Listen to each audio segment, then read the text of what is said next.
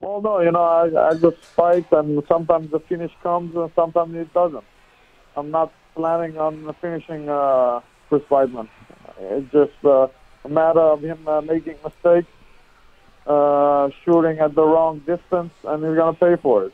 It's simple as that. Um, you know, uh, I'm not gonna make it a fight out of it. Uh, let him come. He's gonna bring the fight to me, and uh, when he's open up, he make mistakes probably I get him. Where do you think you sit in the middleweight division? Um, I think on yesterday's press conference we gathered that both you and Weidman conceded that Romero's next. But are you you think you can jump over Jacare? Uh, should he have either a loss or just not a stellar performance, and then you go out there and finish the former champion? Do you think you become the man at that point?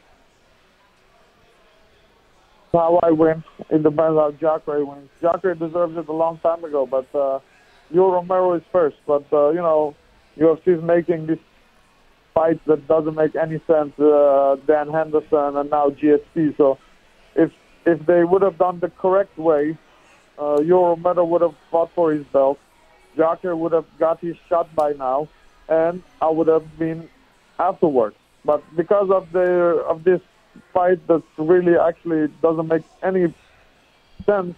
Uh, you know, the real number one contenders have to wait, and uh, it's you know, let's say I, after this fight, I have to put everything on the line again to get a win and then fight for the title. Where it actually should have been me already if uh, if UFC wouldn't have made those uh, stupid fights.